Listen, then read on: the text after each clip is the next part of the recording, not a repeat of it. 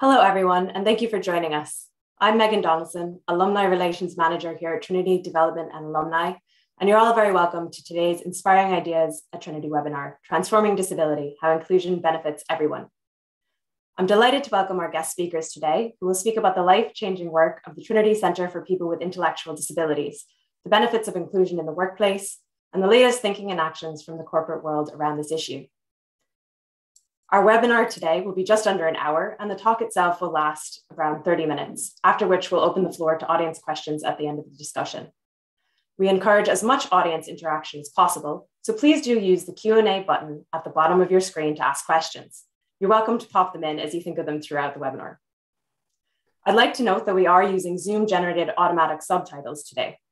If you'd like to turn these subtitles on or off, click the CC closed captions button at the bottom of your screen then click Show or Hide Subtitles. This webinar is being recorded and will be available for later viewing on our Trinity Alumni YouTube channel. I'd like to start by introducing today's speakers. Marie Devitt is Pathways Coordinator in the Trinity Center for People with Intellectual Disabilities, hereafter referred to as TCPID, in the School of Education here at Trinity. Marie is responsible for building the TCPID Business Partners Network and securing both financial and practical support from the business community. She works closely with the business partners to develop work placements, paid internships, and employment opportunities for students and graduates of the program. David McRedmond was appointed CEO of An Post in October 2016, whereas he has led the company's transformation program. He is personally driving An Post's sustainability charter, having positioned five of the United Nations Sustainable Development Goals at the center of An Post's business transformation strategy. David was previously CEO of TV3 Managing Director of Eircom Enterprises, Operations Director at Waterstones, and CEO of WH Smith Incorporated. Tara Doyle is the chairperson, chairperson of Matheson. She is also head of Matheson's Asset Management and Investment Funds Department. Tara has served as chair of Matheson's graduate recruitment program since 2002 and is also a member of Matheson's Impactful Business Program Steering Committee. Tara holds an LLB from Trinity College and an LLM in International Business Law from the London School of Economics. Finally, I'd like to introduce today's moderator, Hugo MacNeill. After graduating from Trinity, Hugo studied at Oxford University before joining Boston Consulting Group in 1985 and Goldman Sachs in 1988. He's always been active in the areas of social justice alongside his international business career, and he has been an ambassador for TCPID for many years. I'll hand you over to Hugo now, who will share a little bit about the work and mission of TCPID. Thanks, Megan, and uh, delighted to be uh, with you today, and thank particularly to be part of this uh, webinar, joined by people who really are leaders in the field of inclusion in, in Ireland. Um, and inclusion has many forms, which we'll cover in the discussion and the Q and A. But we did want to highlight uh, the truly extraordinary work of the Trinity of TCPID. Um, and you should be as, as people connected with Trinity or as graduates very proud of it. It's become an inter, it was always been assumed that people with intellectual disabilities couldn't go to college. Less than 1% of students with intellectual disabilities do go to college. Less than 5% get permanent employment. We, we must change this. We can change this. And the TCPID model has shown how to do it really well by doing a structured course uh, with a great program and great teachers. But then the key area is placing them with businesses. Uh, and that's really made a transformational impact on the lives of these young people, their parents, and the companies that have actually they've actually worked with. And a TCPID has become an international leader in, in the field. The course itself is a two-year course of art, science, inclusive practices, including, including human rights. But the key is actually placing the students in internship and full-term employment where they when they when they finish. And that's actually where all of you could, could come in. Uh, simply by providing introductions to your company simply by being an ambassador you can help transform because the personal recommendation is, is actually sort of key. Um, and we're going to show a short video with some of the highlights of some of our students and how their lives have been impacted and it's it, it, it's really what's behind the whole inspiration the transforming lives and my, one of my favorite stories is a young man called Tomas Murphy. Tomas wouldn't go leave the house before he did the course. He did the course. He was sent to Washington as an ambassador for Trinity. He comes back. He's invited to an Ireland Funds function where a lot of not-for-profit organizations are, and he meets the then Taoiseach Enda Kenny. And as I watched his Sheila, his mother, watching her little boy who would never leave the house, uh, comparing notes about Washington with the Taoiseach, Tomas talking at this conference, the Taoiseach talking about being in the White House with President Obama, I thought he was she was going to absolutely explode with pride. And the great thing is that all behind every intern, behind every company that takes on one of our students, and we've gone from four business partners in 2016 to 40, with the latest being AIB and National Lottery coming on board, uh, even during the pandemic. We have great momentum, and you can be fantastic ambassadors for us. Just make the introductions, we'll do the rest.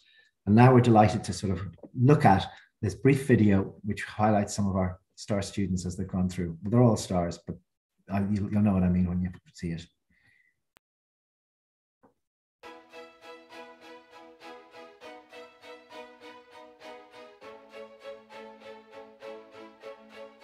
The reason why I decided to go to Trinity to complete the course was because my sister and my father went to Trinity before and I wanted to prove that I would be able to rise to the challenge of being in college. I decided to come to college to complete the course to learn about myself and to get a qualification so when I finish college I'll be able to get a job. I want to kind of take a bigger step um, because I knew that Trinity would be the one. I wanted to see what it was like to be to kind of travel and to be more independent and to kind of get out of my shell. And when I went to junior college, um, I did some workshops and I interviewed for the beginning. I was very happy of course actually. I wanted to get a job and I wanted to, to challenge myself and to learn new things. I decided to come to Trinity College to learn to see what college uh, um, college life is really like, um, to learn um, the classes, learn about disability rights, and yeah, so on. In Icon, I got to use my photography skills because I had that on my CV and it was amazing, amazing experience. I did in Bank of Ireland in Medical Place Road. Um, it was actually brilliant. I enjoyed uh, working on my mentor. I did some Excel and all that and computer skills. I did my work experience at the um, Bank of Ireland. I enjoyed everything being on the computer because I love technology. I love computers and I've always loved technology when I was little. What I enjoyed most about the work placement was with meeting the different teams, like learning what they do and um, how they operate uh, learning how to work in a busy environment as well. Do well in my intern and then maybe get a job in the future. It'll mean a lot for me uh, to have a job. Like to more on the computer, you know, like um, like something every time. I would love to get a job soon. Yeah. What I'm looking forward to is being able to meet the um, people in the company and be able to show me around and be able to learn more things about their what they do and the the company in itself. I'm hoping to kind of work in a good company where I can I can be be that part of being professional.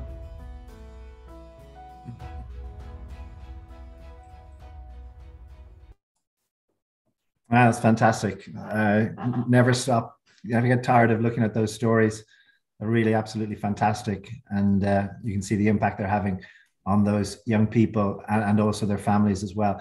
So we're delighted to join. And Tara, if maybe kick off with you, how have you seen the whole attitude towards you know diversity and inclusion change over the sort of the course of your career and where where where, where do you where do you think what, what do you think the potential of it is Sure. Well, I mean, Hugo, we're, we're not going to go into the ancient history that was the beginning of my yeah. career, but you know, if I if I just look over the last few years, because I think the change has been remarkably sudden. and we've sort of gone from an attitude of this not being a topic of conversation, it just not being something that people talked about in the workforce at all, to a focus maybe on discrimination and not discriminating. And so almost like a, you know, you have to, you have to make sure that your policies are not discriminatory and that people have opportunities to really a sense of inclusion and belonging. So not just that you have to not discriminate against people, but actually you actively want to have diversity in your workforce and you want those people to feel included and you want those people to belong. And I think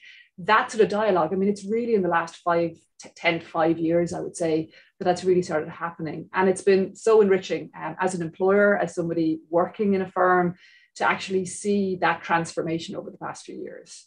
Great, David. You've you've been involved with different companies, and you, I've heard you speak on a number of occasions about this, and, and on the topic of the true inclusion is one of the big issues for for corporates and entities.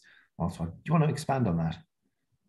Yeah, thanks very much. And absolutely delighted and really honored to be here. Um, I'm a great supporter of uh, TCPID. I think it is, it is, uh, it really is, is groundbreaking work that it does.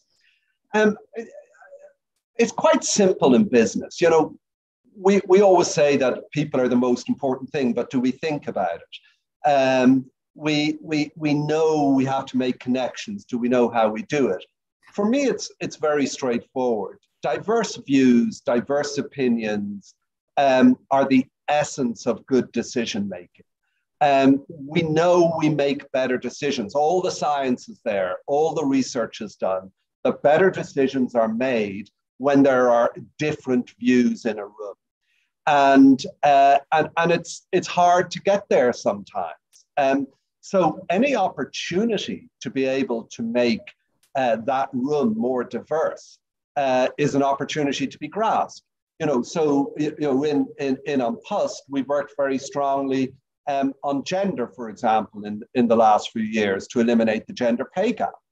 And you know, it's it's almost laughable the idea when you see photos now of rooms that are all male, um, whereas a few years ago that could have been the norm.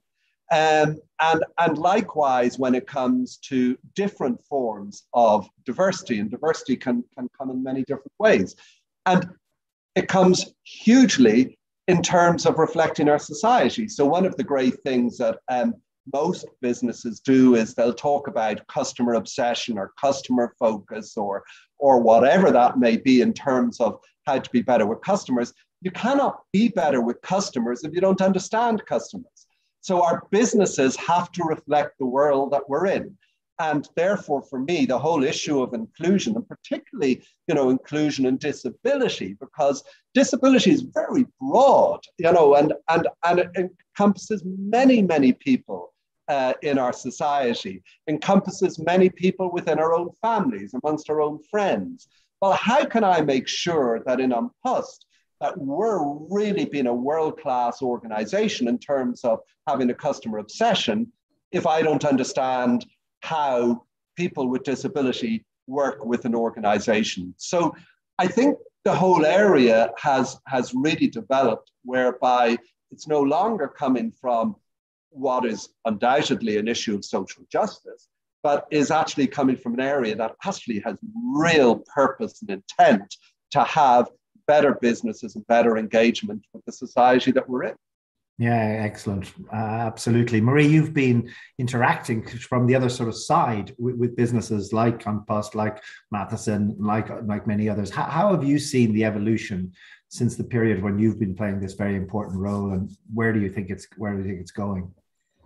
Thanks, Hugh. Yes, I mean I've I've been privileged enough to work in this role for the past six years, and in that in that time, I've seen a huge change in how companies are I guess dealing with the issue of inclusion and, and how they can make that happen within their organizations. Obviously, I know David well. We've uh, we've two of our graduates working in An Post at the moment, and you know both completely different um, individuals and both placed within completely different types of roles. And I think that's what's key is that you know it's a very individualized um, approach that we take with inclusion because everybody's different. We're all different. We all have our strengths, we all have our weaknesses. And what we try and do is work with the companies to focus on the ability of our young people and focus on what they can do how can we support them to you know to be able to achieve their goals and you know uh, obviously as i said i'm privileged to work with an amazing team in the tcpid and um,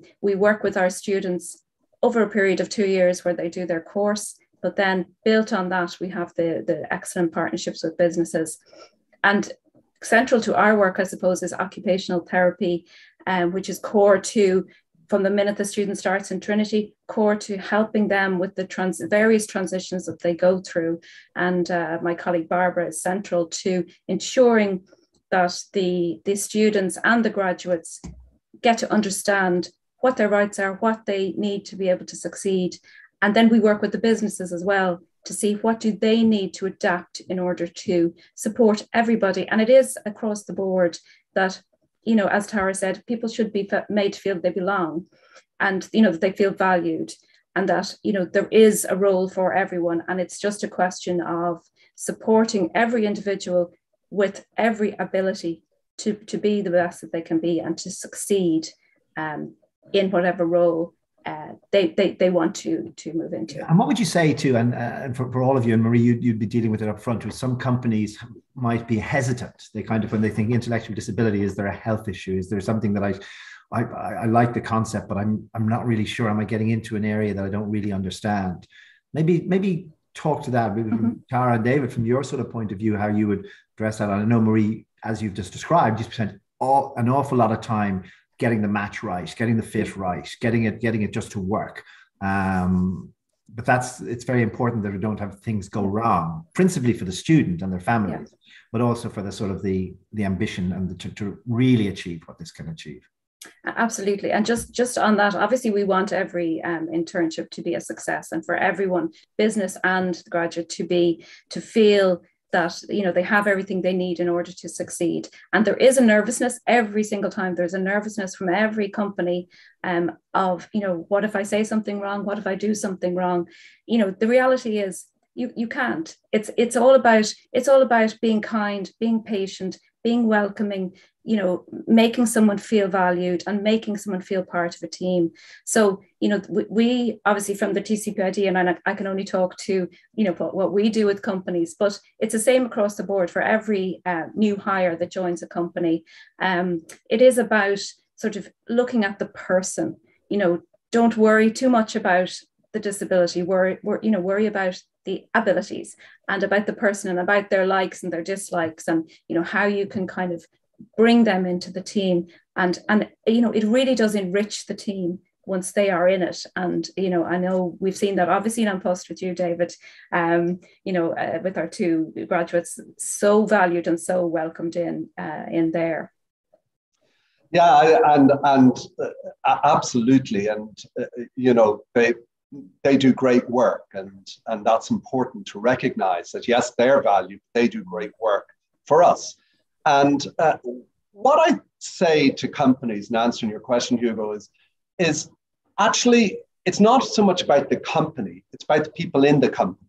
And I'm never cease to be amazed, whether it was here or whether when I was in my TV3 days or whatever, about how individual employees within the company, whether it's the manager of whoever is coming into the company, of the person with disability, about their manager or or typically it's their colleagues somewhere, you know, either side of them, that they take the responsibility and that they then develop that relationship with the person who has the disability. And as Mary keeps emphasizing, it's not about the person's disability, it's about their ability. And, you know, if you were to look, by the way, at any survey today as to what is the number one or two business issue uh, in this country, and it's the search for talent absolutely, it is on fire at the moment. It's so hard to find talent. And, and to look at these people as people with talent, and you'll find that the employees will actually do that work for you. So this isn't about a board or this isn't about top down.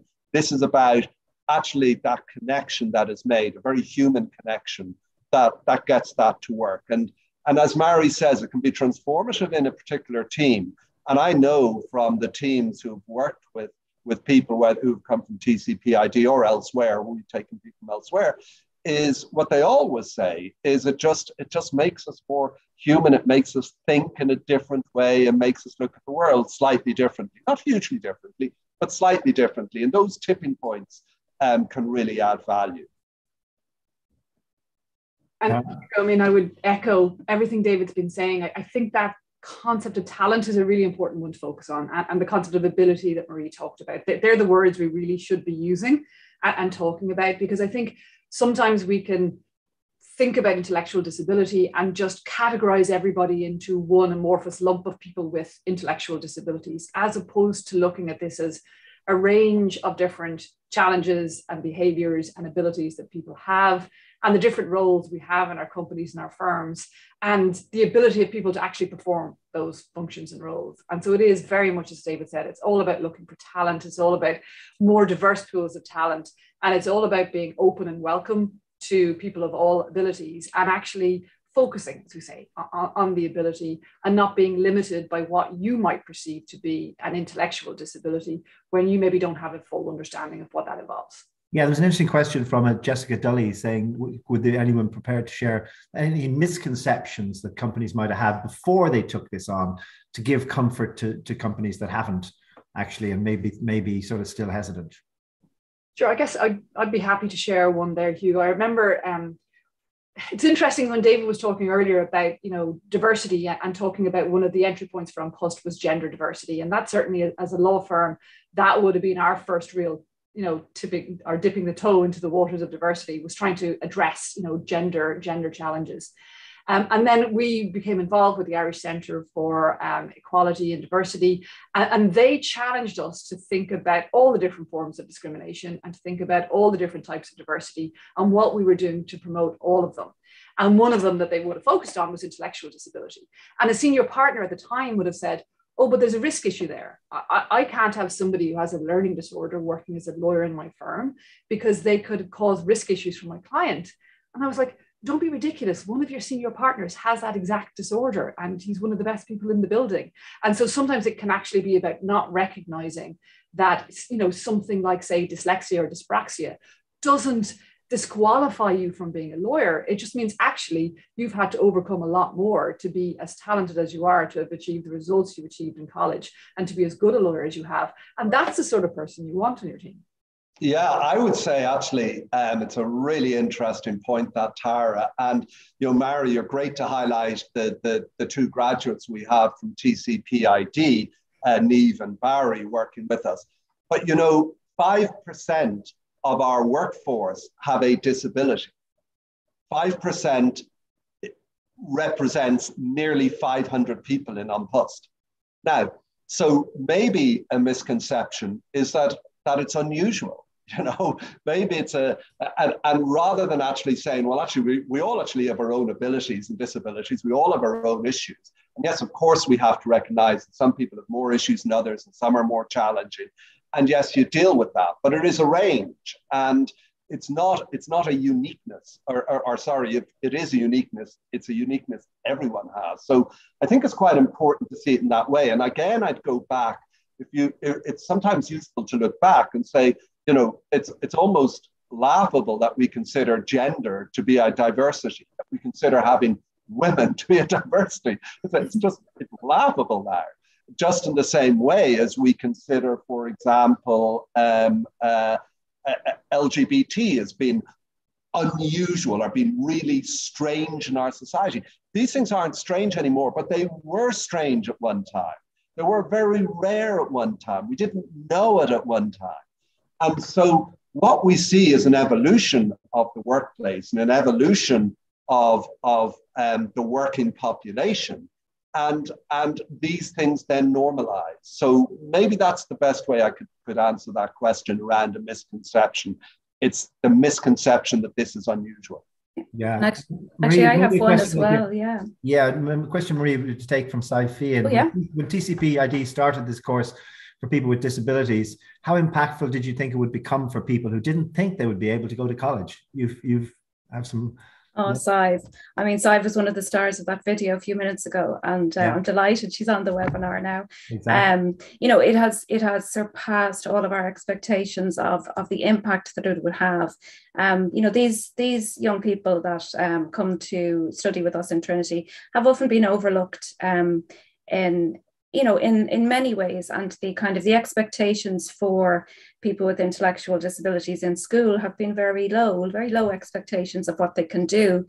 You know we've one graduate who's who told us very recently that when all her friends in school were uh, putting their CAO um, list together to apply for college. They've loads of options, and she was given one option, and that was to do rehabilitative training, and that was her only option that the the school suggested for her. So what we're seeing now is there's a huge change in attitudes and that's really if we if we manage to change attitudes then we have done our job so you know we're changing attitudes to what these amazing young people can do and what they will achieve and the impact that that has not just on on uh, people like Sai herself um, but also on families and on their peers and on people you know growing up you know behind them and what they will um, aspire to and the, the change is just unbelievable. You know, we're incredibly proud of all of our graduates, but we're also incredibly proud of what we are seeing out in um, companies that we work with and also wider society as well, because the attitudes are changing. And the, the, the view now is that people of all abilities are capable of so many things and so many jobs and the doors are opening and the world is changing and the future is so bright for Sive and for her fellow classmates and for you know the the many many students who will follow behind and it's just it, it's it's really a, we're at a pivotal moment because things are really changing. And you know thanks to to everyone really running with this and including people within their companies uh, it, it's getting better and better every day. Yeah. Um so in this thing, the latest, if, we kind of, when we were thinking about putting together this, this, this webinar, one of the things, what were the latest, um, you know, thinking, what are examples of successes that you've seen? Where do you think, if we're having this conversation, you know, in two or three years time, where, where would you, what, what would you like to be um, feeding, feeding back to us? Um, within your you know within your own organization and how how are the ways this is going to is going to happen you know, I think the uh, I, as I, I keep using this word again about normalizing um, what what what a workplace is, and and of course a workplace now now we're entering a really interesting phase. Whereas, of course, our workplace is is is anywhere. Our workplace yeah. is our home, and that actually creates again even more possibilities. Something else that creates possibilities, and and part of actually that workplacing is is technology. Um, I, I put up a video recently and of uh, robots that we're using, uh, that we're testing in, in our mail centers. And these robots can move all the goods around. It's a fabulous, it, it looks fantastic. And somebody's saying, oh, this is terrible because this is removing good jobs and everything. We're so committed to decent work and committed to good, good jobs. And we work really closely with our unions, for example, uh, on that and making sure there's decent work, making sure there's good jobs. But the nature of that work is changing so that, you know, if we don't need people to move the stuff around a warehouse, we can have people doing more value add jobs. If people who, who have particular abilities, i.e., they might have a disability in one area, but they have particular ability, let's say they're highly numerate, we can use them doing work that, you know, right at the moment, data is a massive issue and we need to do big research. I had a meeting this morning with my management board, and we're talking about needing to do research amongst um, small and medium businesses in the UK as to how they can cope with customs. And we need to do calls, we find out what the issues are. Well, you know, you can have somebody who can have a physical disability doing a lot of calls. You can have, you know, so you can have somebody with an intellectual disability doing other elements of, of work. And, and that's the whole point of this. But all the time, it's about finding where is their ability, how can we access that talent, and how can we use it. So I, I think that's really if the, the more we see that the nature of work is changing, that we can really target where the value add is. I think that's that's what, what I'd like to see. If you go, I, I, guess if you're asking me where, where would I like things to be in a couple of years' time, I mean, I think it would be that we would get beyond all of this being anecdotal and having it be more mainstream. Yeah. Um, and I think I know that David has been doing pioneering work in terms of you know measuring um, how well An Post are doing versus different diversity matrix. And it can be very challenging with intellectual disabilities to really to build up data on, on how well you're doing because it is something that is quite personal and private to the individual. Uh, they're not required to disclose their disabilities to you, and they may not feel that they that it would be welcome for them to do it. Yeah. You need to be kind of creating an environment where you can actually gather that information and people are, are comfortable sharing it because the act of measuring anything changes it. Uh, and I think that's how we'll achieve real change if we can measure how well we're doing against these matrices. Yeah. Is there an element we obviously hope from the reason we're doing it is because it's kind of ethically right. It's it's right, and as David said at the, at the start, that diversity is a good thing within an organization. But do you do you do you think, without being sort of negative, that there's a, the or or uh, you know inappropriate, there, there's a benefit to the company, to the brand, to a company's brand. A couple of the when we were talking about this beforehand, is there is there a brand, sort of an internal brand with its employees or external brand for from with its customers, so that something is not just ethically and morally right, but it's actually good business as well? That's that's my essential point, Hugo. Is this is good business? I mean, I'm not here to, you know, yes, in An Post because we're we're owned by the government and we're semi-state, and therefore, you know, we have probably a, a, a stronger level of of of public purpose. Though any private sector company I've been in all my life in private sector, they have great sense of public purpose too. Um, but yeah, it has to work. It has to be efficient. It has to be good business.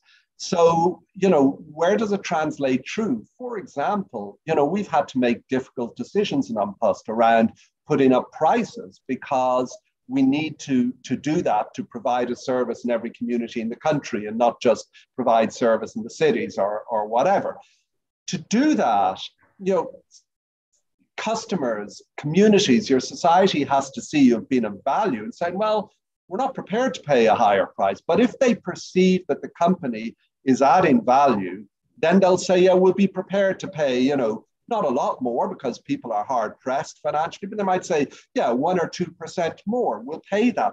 That can have a massive effect in terms of a company's finances. So I think I think there can be and, and there's nothing wrong with saying that eh, you know some of these things are done to to to absolutely improve the brand. But improve all, all a brand is is a kind of promise and and and almost a contract with your customers. And if your customers want your company to be in a certain way and i think in ireland and i think it's really important this that in ireland i think people do want companies to be good. They want companies to behave well. They want companies to be positive for society. And I think that's something that, you know, Ireland actually can really, we can really take a, take a lead on this. Not to an extent of being uncompetitive, but this doesn't make you uncompetitive.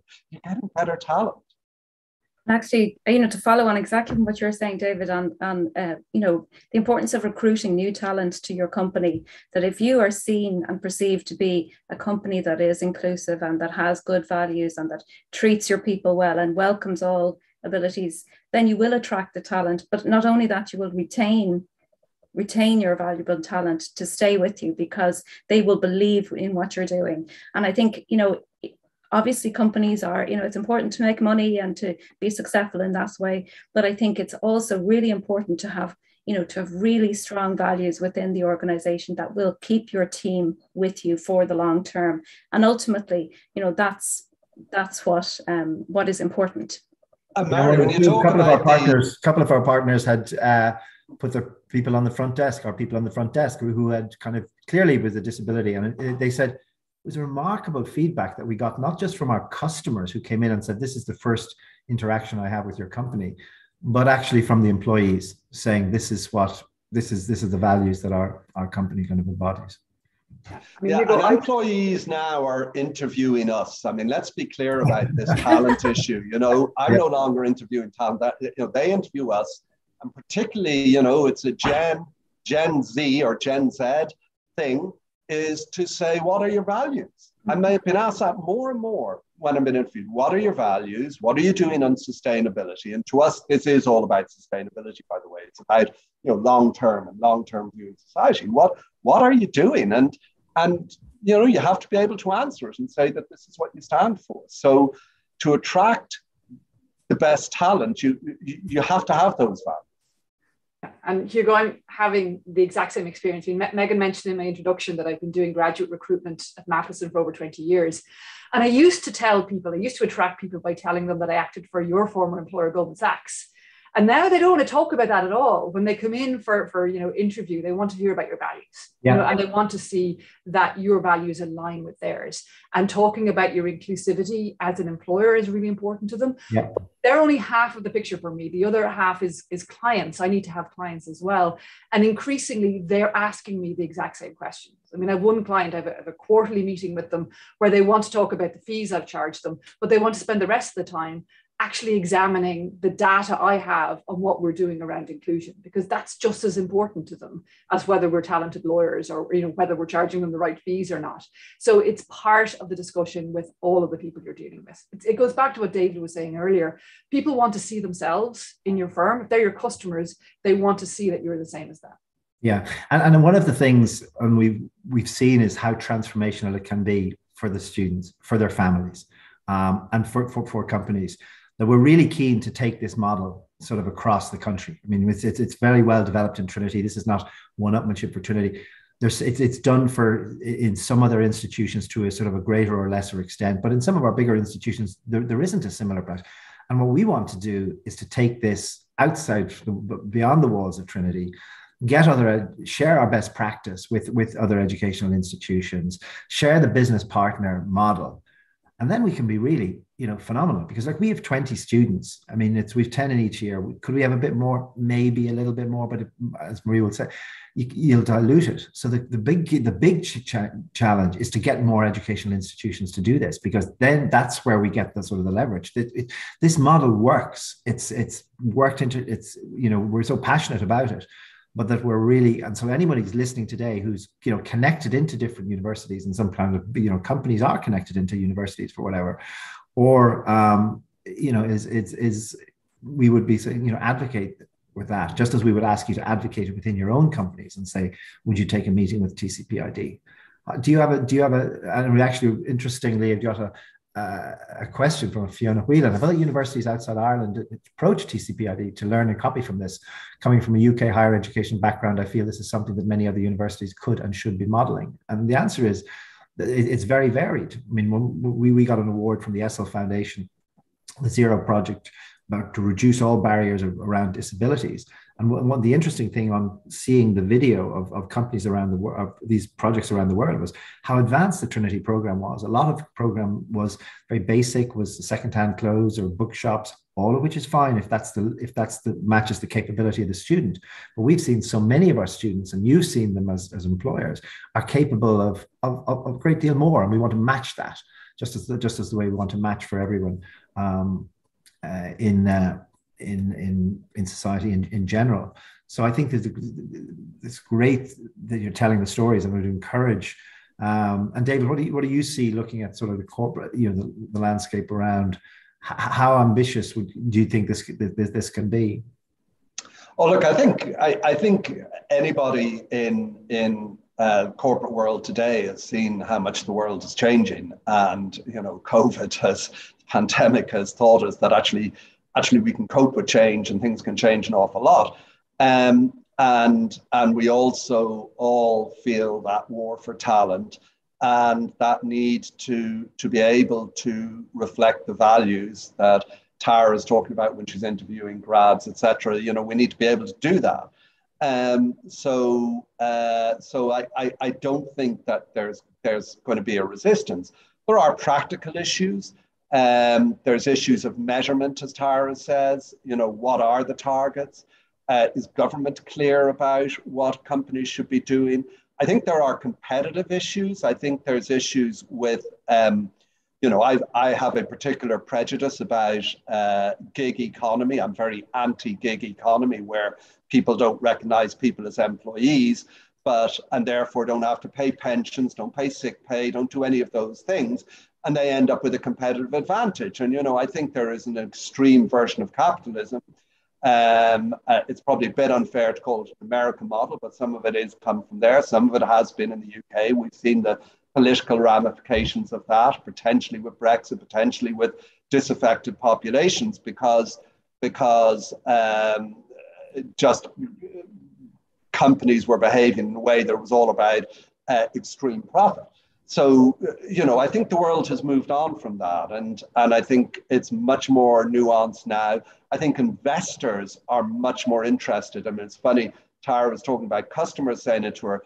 We know i know in my private sector companies i'm involved in that investors need so for example in climate change we know that that the biggest investment firms in the world require you to have certain esg standards um, and ESG is also part of this. You know, how do you have a sustainable world? So the whole framing and the whole prism through which the corporate world is viewing itself has changed. And that I think makes it more open and more likely to embrace uh, programs such as TCPID. But it's not just TCPID, as I say, it's all forms of diversity, all forms of ability.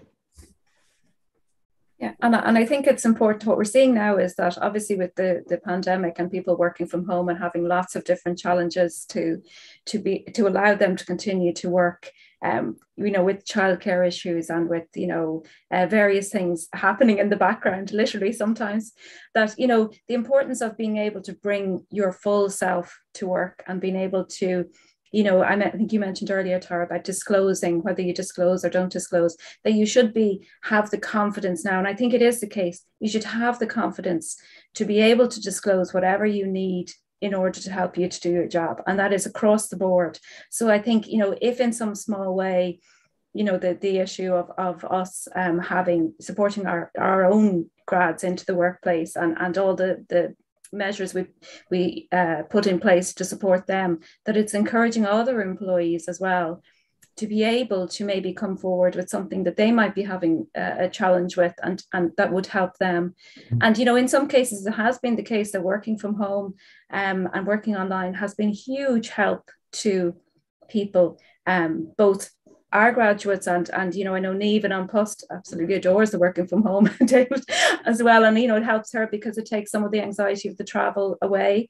Um and you know that it helps people to be able as I say to bring their their whole selves and everything that they um that makes them who they are to work. So that you're not just a work person you're a full you know fully rounded um, individual with challenges and with a life outside of it that you can. And Marie, can, um, can really comment on one of the things is are situations where it hasn't worked out where i mean most in the 99% mostly it's been a fantastic story but maybe people are watching and kind of thinking well there must have been what, what are the things that, that may go wrong and how do you avoid it and, and david and tara to any extent please yeah. feel free to comment I mean, I suppose from our point of view, you know, we really we work very closely yeah. all the way through to make sure that if there are issues, and sometimes do, things do come up at the beginning of a, a, placement or an internship that can be very easily tweaked.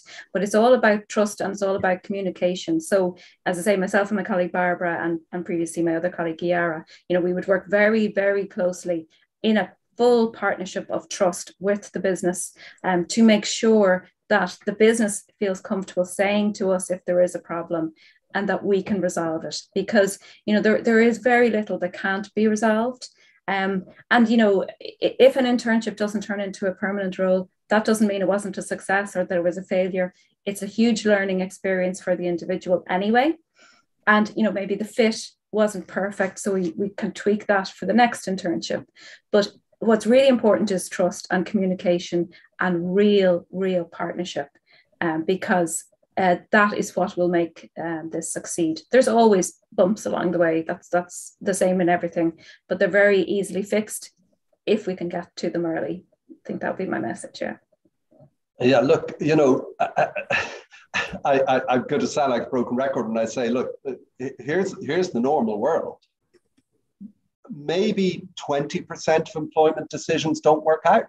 You know, it's it's yeah. Um, recruiting people, appointing people is really hard mm-hmm. um, because people are complicated and, and workers can be complicated and getting matches can be complicated and you don't always get matches. So it's no different, you know, whether it's somebody from TCPID or whether it's somebody from Boston University or something, you know, you're going to get people who don't work out, and that, and I think to accept that that's a reality, um, and and just be open to to to what happens and and, and what's going to work. You don't have to force things, and and I think you do just have to accept that. Yeah, sometimes things will work better. sometimes things won't work so well, and and just move forward with it. And again, allow particularly allow the employees working closely with other employees, allow them to solve. You know, that's where the that's where the, the solutions work, and that's that that's how you get these things to happen. One thing I would say that we're, we're going to do is, um, uh, and and it's it really is not me. It's a brilliant HR officer I have, uh, Eleanor Nash, and she just told me we're going to do an inclusion survey. Now, I think that's a really interesting idea because an inclusion survey will, will tell us so much about our employees that we don't know whether, and about this whole issue of disclosure, whether it be anything from, from I mean, we know gender, but do we know ethnicity? Do we know, uh, uh, do, do we know um, ability? Do we know a whole load of different things about our employees?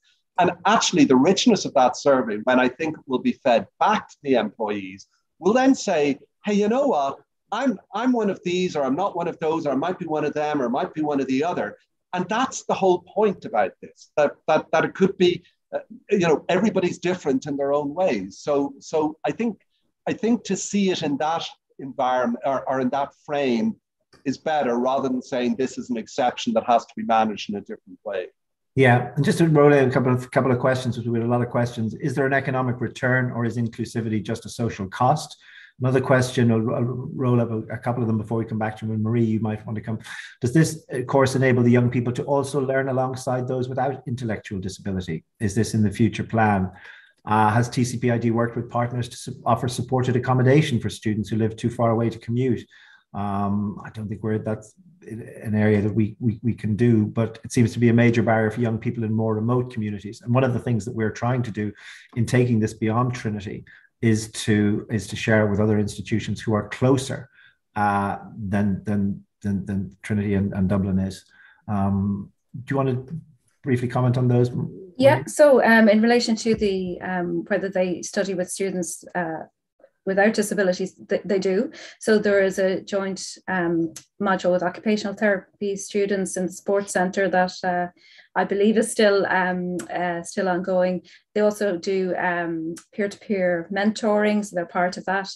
Um, there's the Trinity Inclusive Curriculum Project that our students are part of as well. So um, more and more our students are being included in um, lots of projects across Trinity and their voice is very, very important in those projects. Um, and yes, this, the, the joint kind of studying with, um, with other uh, students from other courses is very much to the forefront of what we believe in and will will be developing further as well. So it's very enriching for everybody. And it means that you know everyone learns from each other and uh, and has been hugely hugely valuable. And in fact, we have two occupational therapy students on an internship with us at the moment who studied with some of the, the students uh, in their first year as part of their um, first year program. So it, it really does enrich the, the Trinity landscape to have all students um, interacting very closely with each other. Tara, what have you? You're, you're, I think on that question about is there an economic return or just, just a social cost, I think that's a really interesting question because I would actually think about it the entirely opposite way, which is that there is a real cost to not being inclusive. You know, there, there's a cost to exclusivity and to reducing your talent pool and reducing your workforce. And it goes back to a word David has used to describe An Post Business, which is sustainable. You know, to create sustainable businesses, we need to be inclusive. So we haven't we haven't yet got to the point where we're properly measuring you know the benefits as opposed to what it would you know the, the question implying that there's costs but there is a real cost to not actually having an inclusive business. And it will be that your business won't be here in 5 10 you know 20 years time. And also david i'm going to steal or uh, borrow uh, that that inclusion survey idea i think. Mm, right. yeah so i think it's been very very interesting um, and uh, a great program and an interesting email from Sylvia Healy. I would be very interested in hearing more about how to roll out the TCPID program to TU Dublin. I'm currently trying to develop a program for people with ID in the Tallaght campus, but we'd love to talk to you about it and we'd love to talk to institutions all around the country and put all our learning uh, at your um, at your disposal as well. Um, I think we and some lovely comments, and thank you that we haven't been able to get to all the Q and A, but some lovely comments about their personal experiences of people with intellectual disabilities and how the lives of the families have been transformed by them. And so, thank you to people who have shared that. It's, it's not just something that we see, but it, it just is, testimony. Um, so, um, I think with that, Megan, will I hand will I hand back to you and thank everybody who for participated in the in the in the Q and A and hope. Sorry that we couldn't get to all, all the questions, but we want to make sure we keep you uh, to the time that we promised. Okay. Thanks very much, Hugo, and uh, thanks very much to all our panelists. We've had some great questions here today. Um, personally, I, would like to share a quote from a recent article in the Harvard Business Review uh, that I read over the weekend, and it noted that inclusive businesses are a magnet for talent have a broader customer base, spur more innovation, and offer a better quality of life for all. And I think today's discussion uh, certainly demonstrated this and highlighted the positive impact of inclusion in, in a company. As both Hugo and Marie have, have mentioned several times today, anyone affiliated with Trinity can be immensely proud of the university's work in this area, particularly that of TCPID. The centre has seen a huge increase in the total number of business partners, as Hugo mentioned, and they've gone from four to 40 across a range of industries since 2016, including major financial institutions and law firms. Alumni and friends who'd like to support their work uh, can do so simply by connecting the center to the right people in their companies who can make the decision about becoming a business partner. If you'd like further information about the center or how to connect with them, you can visit www.tcd.ie forward slash TCPID, or you can email Marie directly at devitt, D-E-V-I-T-T-M-A at tcd.ie and we'll include those details in the email we send around after this webinar. I'd like to thank today's panelists for joining us today to share their thoughts, expertise, and advice. I'd also like to thank my colleagues here at Trinity Development and Alumni for their efforts in putting this webinar together. It's been a real team effort, uh, particularly Gareth Crow and Mark Deering.